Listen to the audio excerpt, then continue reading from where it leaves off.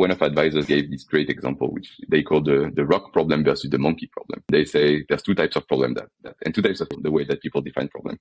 So there's the rock problem, which is I tell you, Scott, listen, man, um, I have a big rock in my garden that I need to move. The rock is big. If we are two people and we lift it together, we can move it uh, 20 feet from where we are today. That's a very yeah. simple, very defined problem. Uh, we know where the rock is. We know what it needed for moving the rock. And then there's the monkey problem, which is I call you, Scott, and I'd say, listen, man, uh, my pet monkey is sick. I need to drop it off to you right now. Uh, I have to go because I have to work. All of a sudden, you don't know what to do with this monkey. Remote forces creation of rock problem is what I'm trying to say. Meanwhile, working in agencies, I've seen a lot of monkey problems. I've seen a lot of, you know, urgency of let's call a meeting for this because a client just called and said there is a problem, which is literally the definition of the monkey problem. And we all went yeah. into this room and there was no structure around how do we define the solution for this. So I think that remote works better 99% of the case. The only case where actually being in a room makes more sense to me is the case where there needs to be a lot of time spent together in an unstructured conversation to try to get to the bottom of strategic conversation.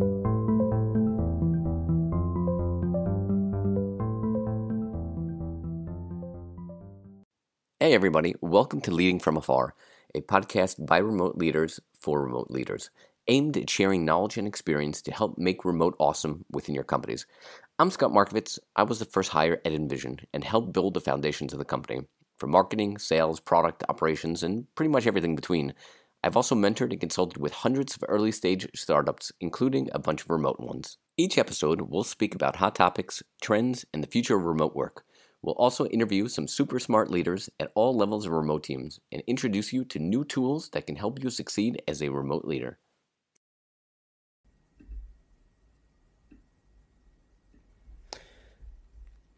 Hey everybody, thanks for tuning in to today's show with me, Scott Markovitz. Today, I'm joined by a longtime friend, Jonathan Widawski, who is the CEO and co founder of Maze Design. And Jo, as I call him, launched Maze remotely three and a half years ago to help teams do user research remotely, whether product or marketing or UX or things in between. So I wanted to bring him in today to speak about how to collaborate most effective, effectively remotely, especially within a growing and dispersed team as his that's grown from eight people pre pandemic to over 130 today. We started off our conversation by discussing whether remote collaboration and the tools available can be as effective as the physical conference room and whiteboard. We also talked about how his team specifically collaborates and makes strategic and product decisions remotely. And we also talked about how his team and his products move towards async. And we also spoke about his team and products move towards asynchronous communication and collaboration. So, hope you enjoy the show. Hey, Jo, how are you today? Hey, Scott, good to see you. How are you? You too, you too. I'm uh, glad to see you're, you're feeling better. How was uh, the past week? You haven't been feeling so well last week. Yeah, yeah, yeah. I was anticipating COVID and it was not COVID in the end. So lost at the lottery, it feel. Uh, but yeah, I've been, I've been, I've seen better days, but now it's all, all the better. Um, but yeah, it's been, it's been pretty much everywhere. We've had COVID cases all over Maze. Uh, so it's interesting because it's, uh, it's unifying in a way, right? Working in 33 countries and having COVID just yeah. so spread out that everyone can relate to everyone's experience. It's been, it's been interesting. Yeah, it's also been crazy times. I think even going back to the beginning of any time somebody, and at least in my home, had a runny nose or a cough or this, it's like the first thing thing is like, oh, COVID test, COVID test. And my wife all the time, I think one of my kid, my daughter, has congested and so I said, oh, maybe I'll give her like a COVID test this morning. Why, why is only COVID? But there's so many things like we've gone and she had like a strep test two weeks ago that came back negative. Maybe it was like a virus and there's the flu going around and there's like COVID and all this kind of chaos. It's like, mm-hmm. oh man, you just can't it's win. Weird. It's just crazy stuff. You just can't win. It's, uh, we live in a world where coughing is illegal as well now. So it's just, you can cough outside. It's, it's, it's weird. Yeah. Um, we went we went to Greece with my girlfriend. I was a bit sick. I started coughing in the restaurant, and everyone gives you a side eye, like it's you know it's illegal. So yeah. it's, it's it's yeah yeah yeah. It's interesting. It's been a very interesting development of things. It, has been quite interesting. Now, anytime I'm I'm inside and somebody coughs, it's like maybe once, like I don't know, give them the benefit of the doubt, but they cough like a second or third time. It's like what the hell are you doing here? Like, you should know better. You should be out some, somewhere else. And that first time after the first wave last, I don't know what, like almost like two summers ago in Israel, we were, I think, past the first wave pretty much, I think, before everybody else. And the first time I went out to like a restaurant, it was so nice. It was an outdoor restaurant. It was great.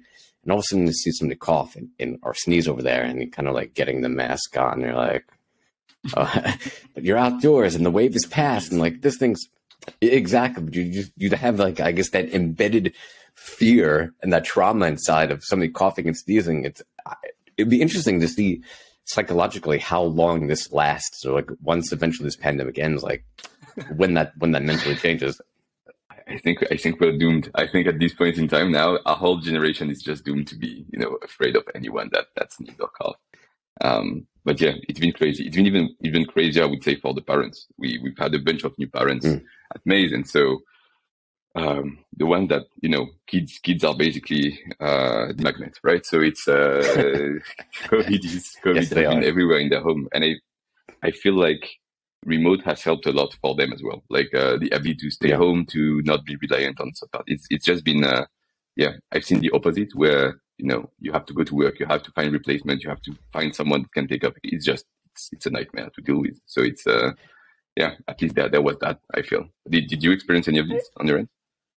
Yeah, I'd say it's just two sides to the coin. I'm totally on this, and I've spoken about this on previous episodes. On, on one side I've had like this kind of opening question of other people when you work remotely, do you take sick days off? Right? Because it used to be in that old mentality. You had to go, you had to get on a bus or train, 60 minutes, go out, it's raining, it's cold, it's like this and that and the other. You don't have medicine, you don't have tea. But when you're at home, you have all those things. It's warm, it's comfortable, you're in your bed. So are people like less likely to take that time off, or do they feel like I really have to be sick in order to take that time off because I'm at home. I'm in bed and I have my tea. I have my medicine. I'm not. I'm not going. I'm not schlepping outside. So, mm-hmm. so and that's kind of to your point. It's it's great because the parents are home, so they they don't themselves have to take a day off and worry about the kids. Like you have that right environment yeah. where you can take care of the kids. You can be there. You don't have to worry. Um, I think it's fantastic. But I feel on the other yeah, other side. Yeah. Um, for me, I've I guess been battling. I'll call it at some point some like crazy anxiety and stress of when the kids, mm-hmm. especially when the kids were home during lockdowns or quarantines. And you know, I've been working remotely for 10 years, mostly from the house. And it used to be I had what we'll call like my nine to five was like my work time. And everybody knew when they came home from school, like the door was closed, mm-hmm. like don't don't come, no bother, don't knock on the door. And then after like five o'clock, then it was like the family time. It was two universes were like separated apart, even though it was at home.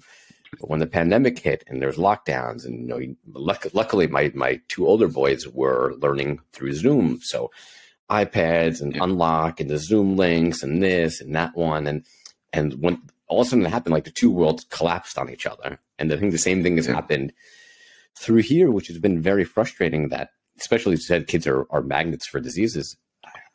I think it was last year in like a two month, two or three month period I think it was between you know the holidays in like September to the end of year. I think one of my kids was in like quarantine. It must have been like five times because somebody in the class had gotten gotten it, and it was literally like every two three weeks, bang bang bang, like back and forth. It just so for me that part was just horrible. You know, always having something and like yeah. not having that separation of time and know, thankfully they were feeling fine, but they're not having that separation of, of work and family time. So I think there's, there's a lot of benefits on one side we saw through and on the other side, at least for me, like the, the stress levels and anxiety levels have been uh, significantly higher.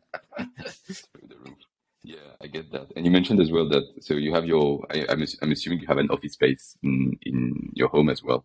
The, how yeah. did you find that? Uh, you, you spoke a lot about the time separation between you know the nine to five for your work and then the rest yeah. of your family. Do you find it useful as well to have a um, let's say separation between your work and do you do you go back to your office even on non-office hours?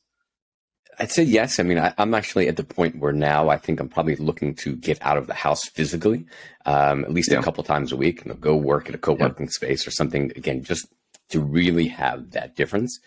Um, for me, I think I really need that separation. Mm-hmm. Just okay, here's there's nothing else to focus on.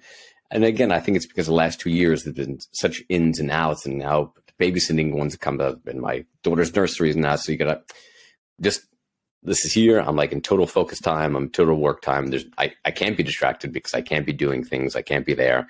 Um, yeah, I think it's for me. It, it's helped. Um, and it just again may have been the different scenario where before the kids were coming home at let's say three thirty, four o'clock. So for like the hour, an hour and a half, they knew okay, you know, don't don't knock on the door. You know, daddy finishes work at whatever five o'clock and then he comes and does with us. But like once it turns on the COVID, again, you need school, you need this. I'm hungry, I'm thirsty, I need this, and this one's bothering me. And again, like there's two worlds just don't separate. And as a worker, like, okay, I felt a lot of times I was going back on the evening times, going back to do work because that was the quiet time. The kids are now asleep. Now this is like my focus time to do work or to do those things I need to do. Then maybe I couldn't do throughout the rest of the day. So it's been a lot of juggling, a lot of trying to find times and kind of cutting up the day to find like that right opportunity to try to be most productive and still be able to mix and match uh, between the, the two different worlds that are here. Yeah, that's good. At, at Maze, we've seen a lot of parents just adapt their schedule, right? It was uh, when the kids are home, then you have the flexibility yeah. to actually just change the way that you work and change your hours. And I think that's also part of the beauty of it, right? It's that you're not tied to a yeah. specific schedule. You're tied to just your mission and what you need to do. So it's if 2 to 4 p.m. is the time that you want to spend with your kids because they're at home, then, then do that, right? Yeah. Like there's no nothing pushing you against that. So yeah, that's been excellent. Uh, that's been really good. Yeah, at least for that. I think this is the, big, the biggest thing that's come out in the last two years of you know the Great Resignation, the future of work. I don't think it's the remote work itself. It's people have now been able to spend time with their families and do things and have that better quality of life where they get to enjoy, you know, intertwine work and life into a single, you know, cohesive, uh, day to day operation and I think that's been like the great crux of you know resignations or changes from driving a truck to you know, driving an Uber or pushing for remote work. That hey, I get to live the life that I want to do on kind of my own schedule. And now the four day work week and you know, nine to fives are going away. This is definitely the way we're moving, but uh, I guess not the, not the topic for today. Um, so usually we'll try to kind of get get back on track and you know first and most importantly, Jo, it's been obviously fantastic to, to get you here. I know we've been talking about uh, this for, for quite a while, so thank you so much for joining. Um, usually, the way that we start is just introduce yourself a little bit and tell us a little bit about the origin story of Maze.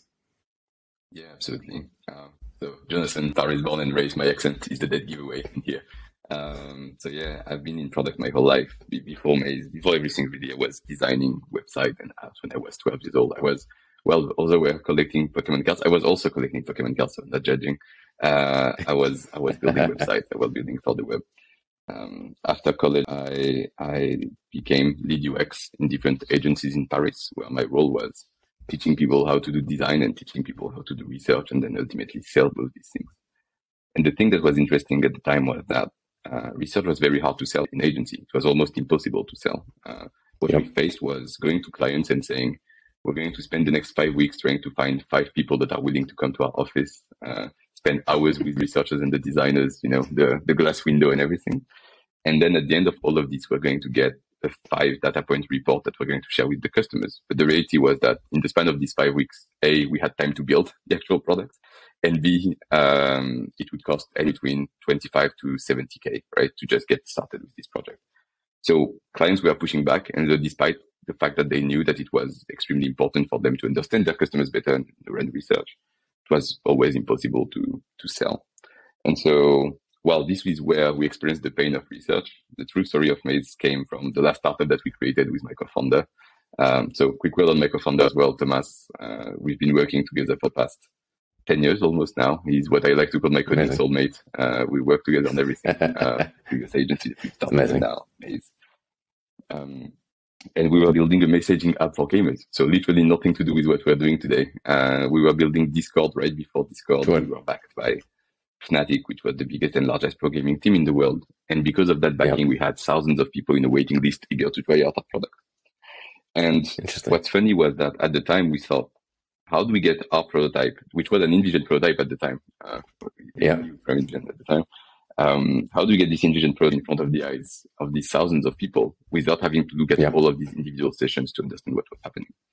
So we downloaded the InVision prototype. We started putting analytics on top of everything with this idea that if we were able to understand the data at scale, we would be able to change the way that we conduct research. we send out the test to 5,000 people. We get 2.5 thousand responses in a couple of hours. So coming from a world where five responses in five weeks was basically opening champagne, that was entirely yeah. mind blowing. But on top of that, all of a sudden, we realized that it was a rethinking of the product development process, that all of a sudden the learnings could happen before you actually built the thing, right?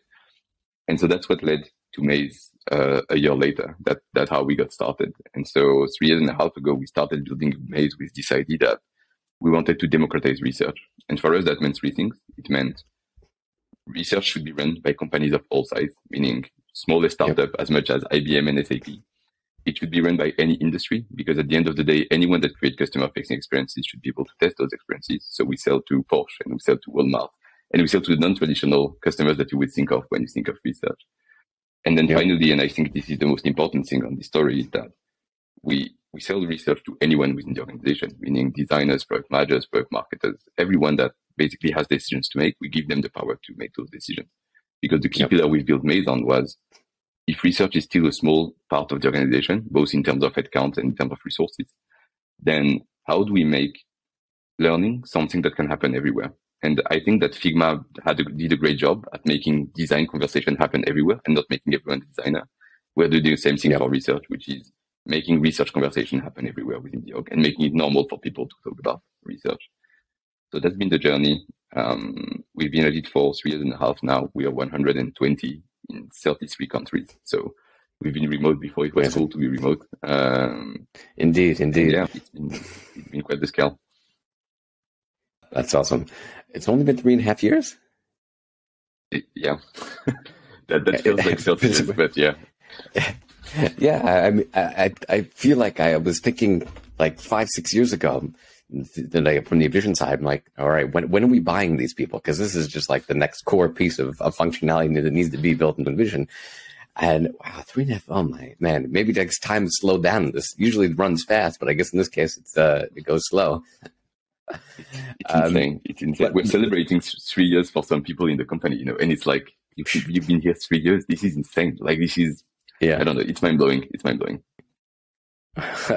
That's awesome. Um, so the focus of the conversation what to do with you today is around the idea of remote collaboration. Obviously, mm-hmm. Maze is a tool that's built for that and help people in, in different spaces get that feedback and collaborate with each other. Mm-hmm. And it's been interesting that I've heard multiple, many times, including from quite a few remote leaders and advocates saying that they, hey, there's really nothing like being in the same room, same room with having a whiteboard there doing this probably for for 10 years yourself and building a company in the space you know, do you actually feel that way you know is it true that the digital experience isn't as effective of again five or six people being in a room with a physical whiteboard and, and markers so so i'm going to try to make this answer as short as possible but it's going to be a long one anyway um, I think there's a elements of truth to it. I think there are there are cases where being in the same room and collaborating, and we do it at Maze, right? Like we do quarterly um, board meeting plus uh, management team meeting, so where we actually gather uh, quarterly. I think so. De- depending on the type of problem, I think remote is actually better at problem solving because remote forces people to be intentional both about shaping the problems and shaping the solution. Meaning that if you're running into remote conversation, you if you set up a meeting in a remote setting, you need to be very intentionally what you're trying to solve with this meeting. So it forces yep. the conversation to be very structured. The same thing can be said for the async collaboration and problem solving and collaboration, right? Which is if you don't define the problems properly, people are not going to collaborate with you, right? We have yeah. um, one of our, we're part of Reforge, which is uh, an advisory program for startups. And we have one of our advisors gave this great example, which they call the, the rock problem versus the monkey problem. And they say there's two types of problem that, that, and two types of people, the way that people define problem. And so there's the rock problem, which is, I tell you, Scott, listen, man, um, I have a big rock in my garden that I need to move. The rock is big, and if we are two people and we lift it together, we can move it uh, 20 feet from where we are today. That's a very yeah. simple, very defined problem. Uh, we know where the rock is. We know what it needed for moving the rock. And then there's the monkey problem, which is I call you, Scott, and I'd say, listen, man, uh, my pet monkey is sick. I need to drop it off to you right now. Uh, I have to go because I have to work. And so all of a sudden, you don't know what to do with this monkey, right? You have a monkey at home that mm. just, you, you, don't, yeah. the problem is very, very problem defined. Sure, so sure. One of the values that, yeah, go ahead. No, no, no, yeah, no. It makes oh, okay. the, no, example makes perfect um, sense. Yeah, yeah. So the thing is, remote forces creation of rock problem is what I'm trying to say.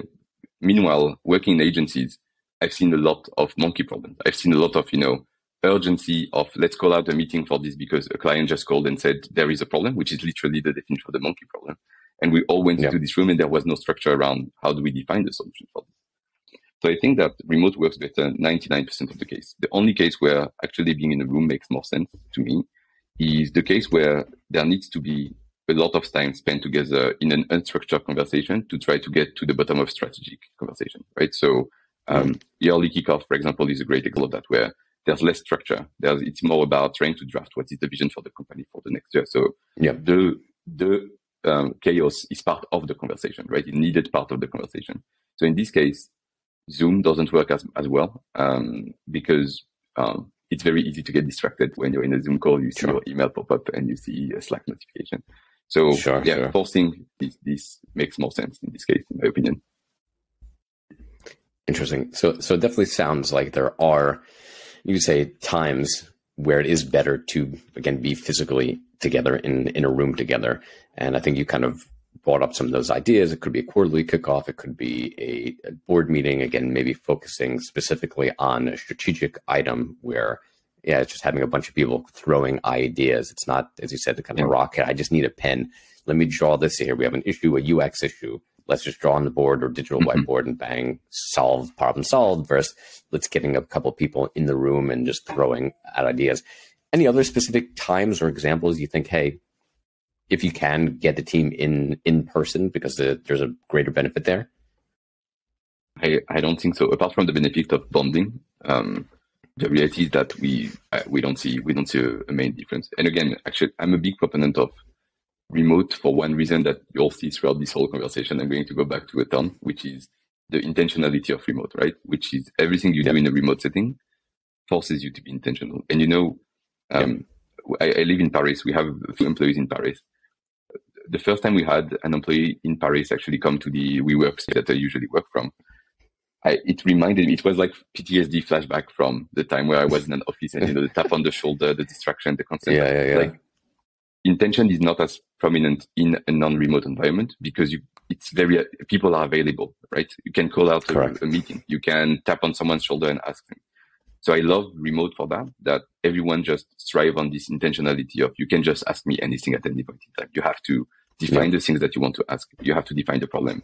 You have to define workshops. Like it's not my job, 100%. my time is worth something, right? So it's uh, yeah, it's uh, that's what I love. I think so. No, I, am a big proponent of non non live meetings, apart from the kickoffs that are just long sessions. Uh, great point. It's the number one word that's come across however many 30 something of these episodes over the last year plus has been intentionality. And, and anyone obviously who's been doing this pre-pandemic, that's the key to successful remote work is having that intentional push in whatever whatever you may be doing. And I think that's the biggest issue. A lot of these companies are still battling now that why they want to get people back in the office. It's oh, you know, mentoring and learning development just isn't the same because you you aren't there to, to look over your colleague's shoulder. People aren't having the same conversations. These ideas, brain, you know, these great ideas that just happen happen in, in the hallway just aren't happening because people aren't in the hallway. And my response to that, it's mm-hmm. the problem is it's companies hadn't been thinking, okay, how do we redesign this experience for a remote environment? No, yes, you're not going to see somebody looking over your shoulder, which maybe it's just me. I just don't believe people learn through osmosis of looking over your shoulder and some magically they're going to like become a much better developer. But okay, how do you do no one-on-ones or no lunch and learns or bringing in mentors? Like again, how do you recreate that experience now for a remote environment? And doing it intentionally because that's if you're not doing it intentionally it's not going to happen by itself especially if you haven't been in the environment to do that you know? These little water cooler conversations that happen every day in the office like they're not going to happen by themselves now that the company is working remotely. Like you need to embed the tools and the process and the procedures to make this happen or it's just not going to happen. Exactly. And i read the rituals within your org that's the problem right? Like uh, you can't expect things to happen magically and i think that's what we've seen the most so we've seen the two cases, right? The one where people try to replicate what they've seen in an office. So let's try to be live uh, from nine to five, which just it defeats the whole purpose of, of being remote. and then not setting up the rituals that you need to have for remote culture to happen, right? And I think again, yeah. going back to the intentionality, when you have an office, you assume culture will arise, right? It's like a petri dish. Yeah. It's just there. Okay, cool. Sure. It's happened. And that's the culture. Yeah. Remote forces you to be, to be, to create a culture. It forces you to think about what, what are the values we want to pass to people? What are the rituals yeah. we have? What do we care about as a company? And for us, for example, we, we haven't, we, because of COVID, we couldn't meet for two years, right? So we scaled the company yeah. from eight to a hundred people. And I've only met at the time 10 people from my company, right? That was the extent wow. of which I knew my company. And so in November, we were able to, in October, we were able to do our first uh, remote offsites in two years, right? And so the Amazing. key question that was in my mind was, are we going to see the culture that we think we have actually materialize live, right? It, it, was a big topic. And it, it did, right? Because we, A, we were very intentional about our hiring process, about making sure that we are hiring yep. people for the culture we had. So already yep. it's a big point of building the culture. And then structure the cultures that the people actually felt like they were part of the same team, part of the same company, the same culture. And that, that transpired yeah. in the offsite, right? Everyone felt like they knew each other forever, that they were part of the yeah. same team. And that's, that's, yeah, that, that's proof that you can actually build culture even if you don't meet for two years, which I think is, uh, is probably a strong point. Yeah uh, as an argue, I, argument I make all the time. It's the office and all the things there have absolutely nothing to do with the culture. It's the people there. Um, but I love you make a point before about the the first person that you hired in Paris when you, you met them in person. They came to the office and they're like PTSD. I remember my first day at InVision. I came into the the Regus space that uh, the the two co-founders had, and I remember Clark saying to me, "He's like, why the hell are you here?" I'm like, no, it's like the first day. I want to I want to meet you. I want to see you. He's like okay, you don't you don't need to, you know you need to, like don't feel like you need to come here. Um, and I said okay, and I think that was, I may have come back once again over like mm-hmm. the next four year period for some odd reason. Which again, I probably got the same exact answer of or question of like, why exactly are you here? yeah. Um, but kind of hearing through what you're talking about for those kind of purposes, maybe of having people in the room. This is something that I felt, and I think that actually came up in a, in a topic in a conversation uh, around team engagement um, of how to, especially in Zoom, how do you get full participation? I think that's potentially why you know, some people say, hey, we, we want to get people in the office because, again, all five people are sitting there and we know, in theory, those five people are all going to speak. Yes or no. Um, but now, if you have yourself and you have like little boxes where you know maybe a whole bunch of them you can't see because you can only see like a certain amount in there, how can remote teams ensure there's really full participation when collaborating or brainstorming you know, in meetings via Zoom or similar tools. Yeah, it's a tough it's a tough one because I think that even in non-remote settings, it's very hard to get full participation, anyways, right? Like the reality is that you you can get better at it, but it's it's always going to be a, a challenge to get everyone at the same level of participation. But I think that it, it comes down to two things. It comes down of, to the, si- the size of the team collaborating. Um, when we worked, so one of our advisors is Elena Verna, and she was the acting CMO at Miro and Netlify and a bunch of great remote companies that have actually embedded these processes. And what she's saying is, um, a more than five people in a meeting, you're going to get less than five people collaborating because the thing is that the yeah. level of collaboration actually decreases with the number of people, right? People don't feel yeah. as inclined. It's it's the bystander effect, right? All of a sudden, no one sure. is concerned because everyone is, right? So it's uh, so yep. keeping it below five people, I think is really important. And then it's all about the host. So A, it's about um, making sure that, uh, oh, give me one. Do you hear the background? Okay, can we cut this part?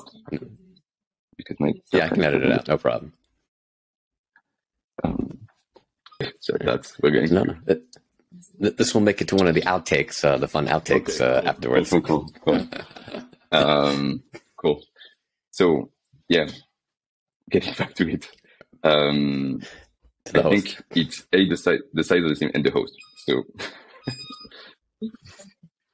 the um, that's the delivery of Amazon. So the yeah. host, I think, is super important for two things.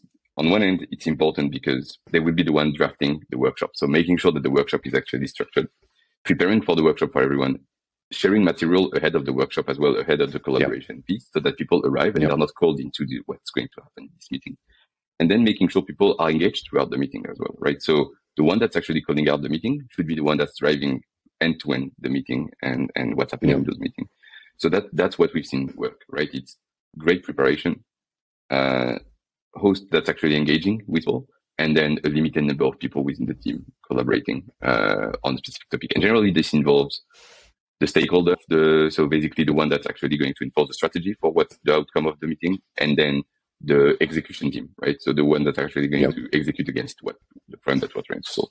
That's what we've seen work really well. I love that. I especially love the idea of sending the material ahead of time. Um, I've spoken yeah. about that quite a few times on the idea of getting rid of meetings and how to kill off meetings. Um, one of the mm-hmm. things that I like and to do, and again, I think came up in a previous episode, is I think especially as you put it as it's on the shoulders of the host, saying giving let again five people. We'll go with that answer of each person has 30 or 60 seconds where each person's expected to give feedback. Mm. Again, to ensure that everyone has the opportunity. So it's not, you know, the one or two people who are maybe the extroverts who are very, you know, taking over the meeting. It's everyone has like a timer. You got 30 seconds, 60 seconds. Everyone give your feedback about these ideas, what approach to be. So you ensure again that everyone has that chance to to voice their their opinion, voice their feedback, uh, and ensure that one or two people don't take over the meeting versus you still have everyone has uh, the equal opportunity to speak. This is a presidential yeah. campaign type of thing where everyone's timed so that you make sure that everyone has the same. I like it a lot, actually. Yeah, awesome. Um, and maybe you can tell us, tell everybody a little bit more about your process or the process uh, in, in Maze about how you do your brainstorming collaboration process of you know features or bugs or where the strategy is coming and going. Who's involved in those sessions and what tools are using to to go through those meetings? Yeah. We're, we're very light on tools. The reality is that we probably use miro and zoom for those 99% of the case. There's very very little other tools that we use i think depending so there, there's five questions in, the, in there so i'm trying to i'm going to try to go through all of them but basically for the strategy meetings, we have an, an E team. So the way we work, we work as a W. So basically we have an E team, which is the, the senior management team. We have what we call the SLT, which is uh, one level below. And so the goal is drafting the strategy, giving the strategy back to the SLT so that they can go back with feedback from their team to the E team. So it's kind of a W where we always go back and forth between management, senior level management and, and uh, medium level management. So that works really well. Um, and the goal is I'm driving the, the meeting with the E team. So I'm the one with the BizOps preparing the E team meeting and, and, and uh, creating the strategy. And then what I really like is that now what we're doing is that the E team will present to the SLT. So it's, there's basically ownership that goes down because it's, we sure. make sure that we align as an E team. Then the E team pass it down to the SLT. And so they make sure that they're aligned with the SLT and the SLT passes them down to the ICs that will actually execute against the plan. So it's, uh, it's ownership all the way down and it goes back and forth so that we make sure that we hear from everyone. Um, and for that, it's it's very simple again, right? We start with a brainstorming on Zoom and Miro. We prepare the meeting so that um, we have a kickoff where we try to define what we call the complete. So what are the problems that we're trying to solve as a company? Like what are the big things that are not working? And the resolution, which is how do we solve for that? And then we have a full framework of like, these are the guiding policies. So these are the high level picture of how we're going to solve the problem. And then we have coherent actions, which are how we think we're going to solve the problem for these guiding policies. So it, it, it structures the conversation a lot, right? Because we also, also have a common language on how we talk about these things. That's works well. Um, I can talk a bit about product as well, uh, which is how do we define yeah, product? How do we build new product? Um, it, there's a lot to unpack here, but also, so there's two ways. Um, the the E team will own so when we look at features and when we look at product, there's four risks that we need to assess, right? The business risk, the value risk, the usability risk, the feasibility risk. The business risk is owned by both the E team and the researchers. So the goal here is to define is what is the market problem that we're trying to solve for, right? And what is the user yeah. problem we're trying to solve for. So we'll try to draft both from hearing from our customers. So the CX team, uh, Brendan from InVision, namely, uh, sure. is, is gathering information on, um, on on the problems that our customers are having. So we are using both the customer feedback, what we think is the direction we want to go for the company. And then we'll test this both qualitatively. So we'll have users interviews for our researchers that will come back with uh, yeah. more depth on the problem. And then we'll validate that quantitatively by only using Maze, right? So Maze is a critical part of the whole journey of validation. Sure. So once the business risk is is settled, we pass it down to the PMs and the PMs, what they'll do is they'll assess the value risk. So on their end, they will start brainstorming on what is the right solution to solve for that problem. So kick off with their pod, where they will uh, draft the strategy of solution that they can actually develop for solving this specific problem.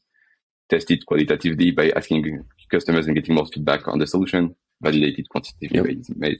And so you see this loop kind of going back and forth. Uh, that's what we'll do every step of the, the feature development process. And that's great because it creates accountability at every point of development, right? Are we building for the right problem? Are we building for the right solution for that problem? Are we building the right design? Are we building the right value proposition? All of these things. It's like a relay race, right? Where everyone just yep. run and pass down the responsibility. That sounds interesting. Have you ever felt that there was an instance or instances of failure because people weren't in the same room, you know, making a specific decision, whether it's product or strategy? Mm, I don't think so. And uh, so, yes. So the, the problem is the, probably the framing of the question. I don't think it was failure. I think that realizing that we are wrong is actually a success, right? Before actually sure, sure, sure. something. Um, so it, it happened in cases where um, yes, at m- middle of the process, we realize, oh, actually, no one wants this, right? Actually, this is not going to work because it's not solving for the problem. So it goes back to what I just said, which is this kind of loop of we think there's a problem and then it's passed on to the PMs and they think there's a solution. And then we actually test out the solution before it's being built. We realize this sucks, right? No one wants uh, uh, this thing. I remember a specific example where we tried to create a Trello like experience inside of Maze where people could move like their project ahead. And people were like, this is stupid, right? We have Trello. Why, why do we need to do this yeah. inside of Maven? We're like, that's true. This is stupid. And so we just killed it off. But the reality was it's not yeah. failure. It's actually a big success, right? Because we could have released that. It would have damaged the product. It would have cost a ton of development time and then legacy of product that we would have to actually destroy, right? So it's, it's not so much a failure. It's a, a success of not building the wrong thing, I would say. I like that answer. I like that answer. Um, to kind of go maybe more deep into where remote is going, um, you mentioned the word earlier on when we were speaking about async. Uh, I think it was maybe like a week or two ago. I saw a post of yours on LinkedIn about a beta feature that you guys have rolled out uh, for screen recordings, which is uh, awesome. Um, so now, in theory, instead of having it could have been a live setting where somebody was maybe both people were on maze and one was watching, or it was like a screen share. And again, I'm watching you do whatever you may do. You now have the ability to do that asynchronously.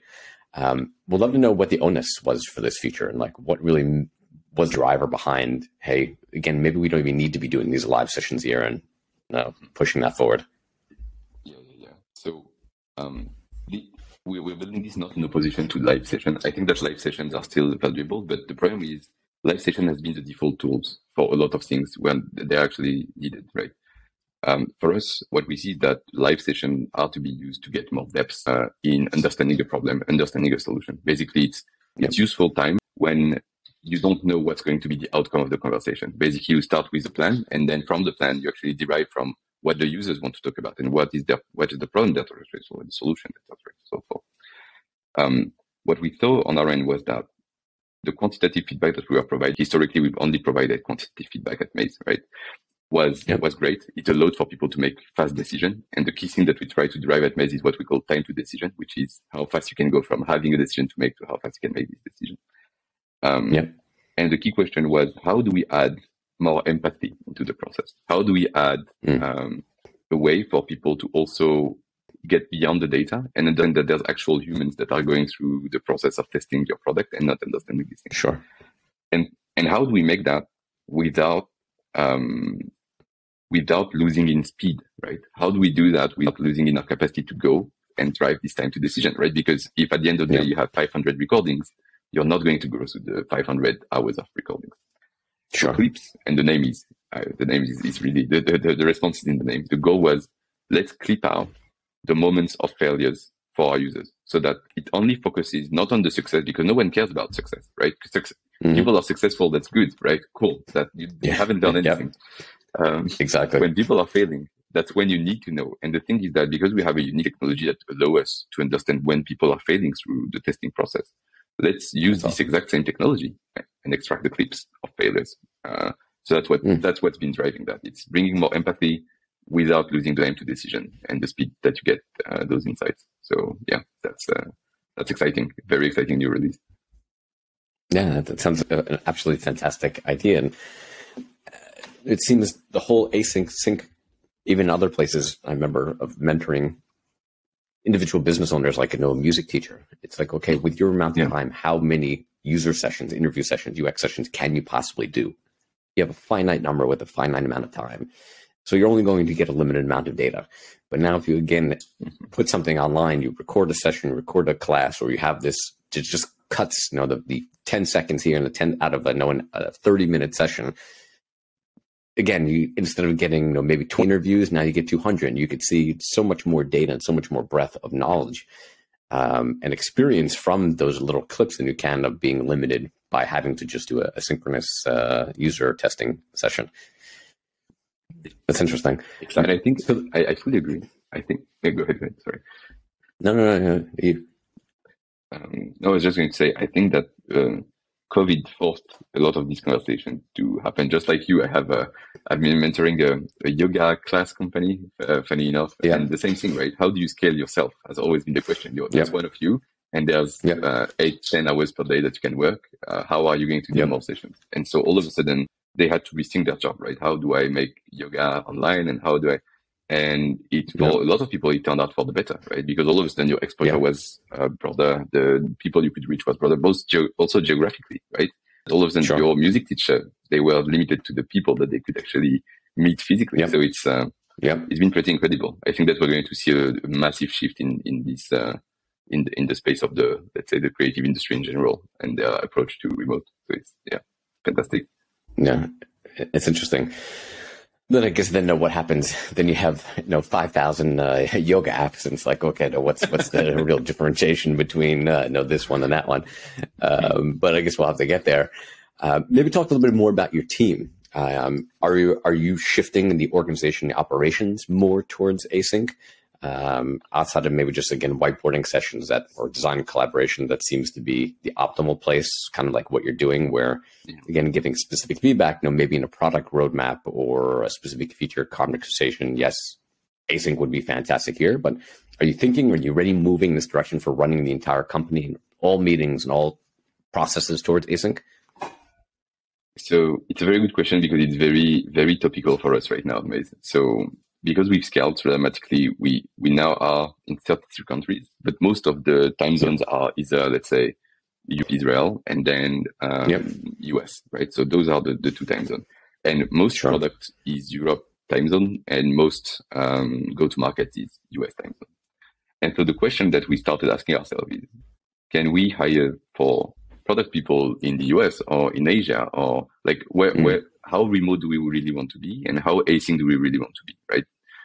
And this conversation is driven by two types of people. It's driven by, on one end, for example, our VP of people uh, that came from GitLab, where remote is the absolute, async is the absolute standard. Sure. Um, and on the other end of the spectrum, we have, for example, our VP of marketing that comes from where she comes from an in-office job, right? So it's it's a mm-hmm. lot of um, trying to find the right balance.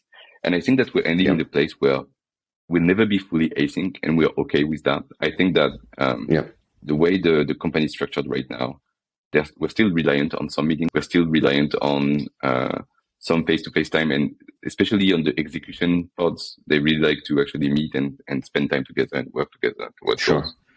So we're never we're never going to be fully fully async. We're just trying to drive more and more decisions to be made asynchronously, but we're okay with being reliant still on you know stand-ups if the product teams want to do stand-ups. And uh, you know uh, sales kickoff for the sales team like it's okay to still rely on some synchronous meeting. Sure. I like that answer. I like that answer. Yeah it's i think like anything it, it comes down to each company culture. You know for some companies it's 100% async. Some some companies it's 20% async. Something companies it's everywhere in between and having to find what works best for your company. Mm-hmm. um, and i love the idea of you know bringing the vp of gitlab that was always a lot of the feedback. It's when you're building a culture, you're doing it. You can't just take you know, all the GitLab documents and manuals and things. It's like, oh, okay, this is we're this is way we're going to do it, and it's going to work fantastically. Well, that's yeah, that, that's GitLab, and it works fantastically for GitLab. But for somebody else, that's that's just not the way it is.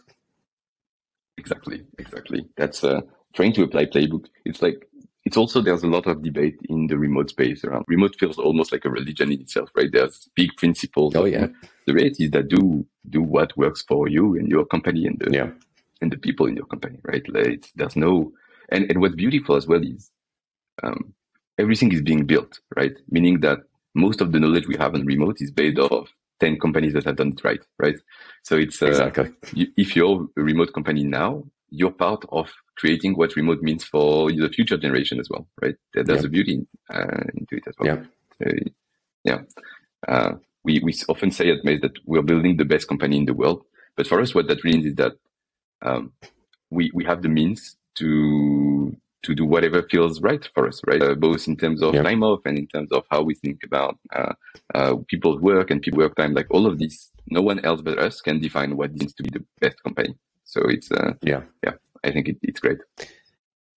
Yeah, I, I- love to see, especially with these early kind of young um, remote companies that I, what I've seen, it's they're the ones really the fourth who are putting much more of the emphasis on culture, and especially starting back at the the application side, where I've you know been to many of these sites, and when you go looking at some uh, you know, job rec, you know there's a link to a Notion, a very detailed multi-sectioned Notion document about everything about the culture and how they communicate and how they work and what they believe in and what this is and videos and testimonials and things like that. And I think that's fantastic because for me, you know, culture starts at the application phase. And that's, you know, having one thing is having the salary amount on there. Like that, I, that's like, that's one of the most uncomfortable questions you ever get. Well, what kind of salary are you looking at? Well, why don't you tell me ahead of time so I know whether this is relevant or not? But it's great to see like there's such a focus from like the remote religion that hey we have to be intentional about culture. So we have to be very focused in writing this and be very clear so when people come in or even interested in us hey before you even have that first conversation like is this a cultural place for them? Like is this where they want to be? And i think you know you're definitely right. It's going to be these companies that are taking what gitlab did and what Automattic and wildbit and InVision did for all these years and now saying okay that was amazing. And here now that the rest of the world is doing this, and now that the majority of the world is doing this, and now you could start an early stage company and you could be async from day one. And how we're doing these things, it's super, super exciting.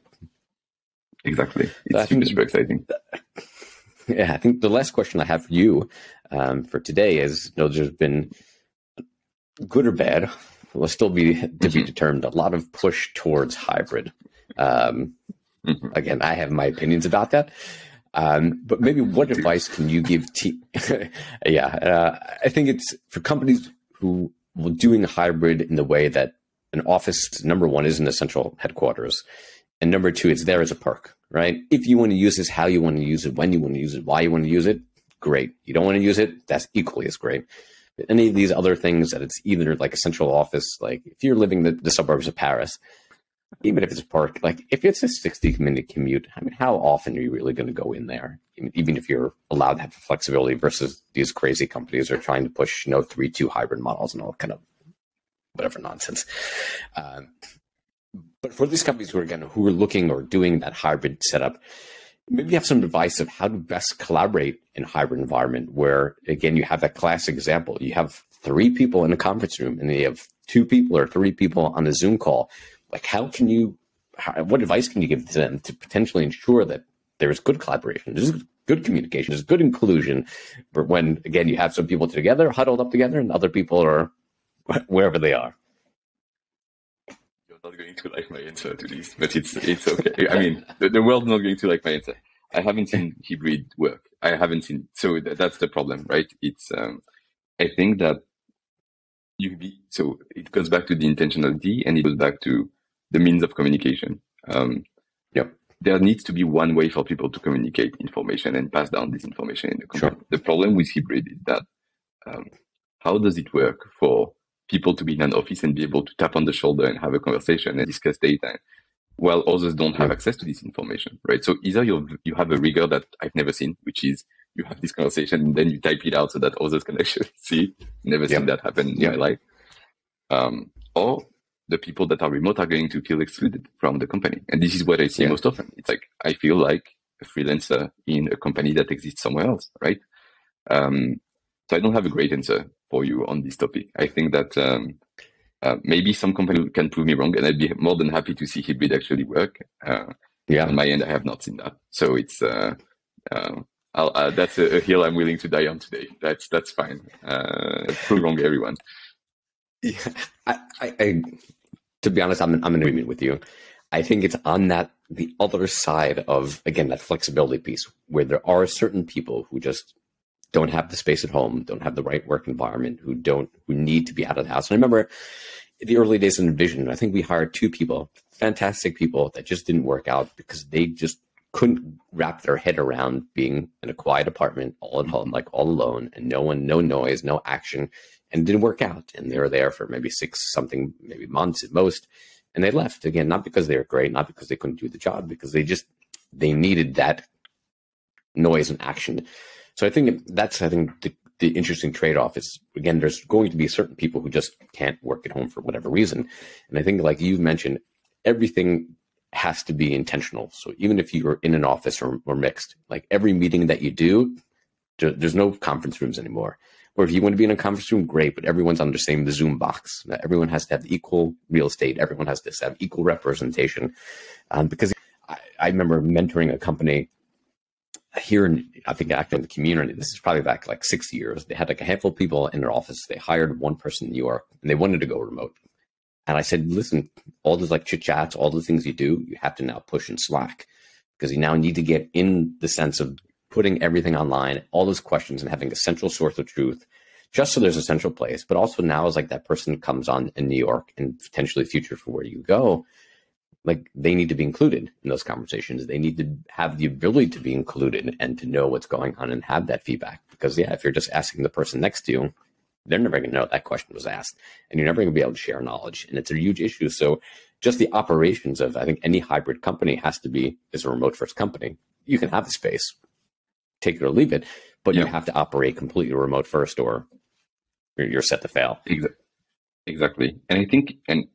I much prefer. I mean, I have literally nothing against in-office companies. Like the, to the opposite, I think that in-office companies work well as well. Like uh, the reality is, I think just hybrid is kind of the way that people have coped with COVID, right? For a lot of these companies, exactly. Like, oh, we, we, are, we are used to having an office. Now remote is competitive, so let's hire remotely.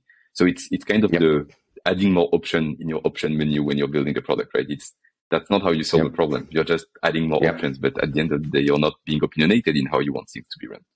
Um, so yeah, I'm, uh, I fully agree with you. And I think it's fine that also remote is not for everyone uh, I think that it's very sure. important for people to know if they want or not want to work remotely. We've had cases as well where people have struggled with, you know, um, I want to meet people. I want to meet people. I want to have yep. the sales day beer, and that's fine. That's entirely fine. Uh, just sure. like the employer needs to be intentional about how they hire, the employees need to be intentional about what they expect from a job. And for some people, yep. that's more social connection. That's more things that yep. remote can provide, and that's fine. That's okay. Yeah, I completely agree. Um, so for everyone listening, how can they find more about you, more about Maze? How can they get a hold of you, get a hold of Maze, all that good stuff? Yes. Yeah. So go to maze.co, obviously. Uh, if you're working in product, uh, any form of product, really anyone's working in product these days, uh, go to maze.co. Um, you'll be able to go and get some insights fast, build more user centricity for your company, be more connected with your users. And if you want to find more about me, uh, I'm mostly on Twitter and LinkedIn. So LinkedIn, uh, Jonathan. I'm assuming you're going to put out my last name because otherwise people will never figure it out. Uh, I'll put profiles and there's well. People. Cool. but yeah. Also, I, I miss the, the I miss maze.design. How many times InVision when people are asking me these tools, I'm like, yeah, maze.design, maze.design, maze. I was like almost on like on like an auto hotkey uh, type thing. but I guess you have to graduate. You have to get bigger. So you have to get you have to get the co, and eventually you'll you'll have to go and take the uh, the dot com as well to make it official. Oh man, this is the story for another podcast. For a full hour podcast, I'll talk about maze.com at some point, and and I'll and I'll try to actually get the domain. But that's that's another story. another time. Excellent. So, Jo, thank you so much for joining today and sharing how you've been collaborating, how your team collaborates and makes decisions uh, remotely, and sharing that insight with community. Because again, as, as I said, started off, you know, even there's lots of people who've been doing this for a long time who still believe that you can't get the same experience. So, greatly appreciate uh, you sharing the feedback and the insight. And uh, until the next episode, have a great day, everybody. Thanks again, everybody, for tuning into today's episode of Leading from Afar. If you enjoyed the podcast, you can learn more on our website, leadingfromafar.com, and subscribe to the podcast in your favorite app. This podcast is all about you, the remote leaders. We'd love to hear from you with your feedback or ideas for future topics and remote leaders we should be speaking with.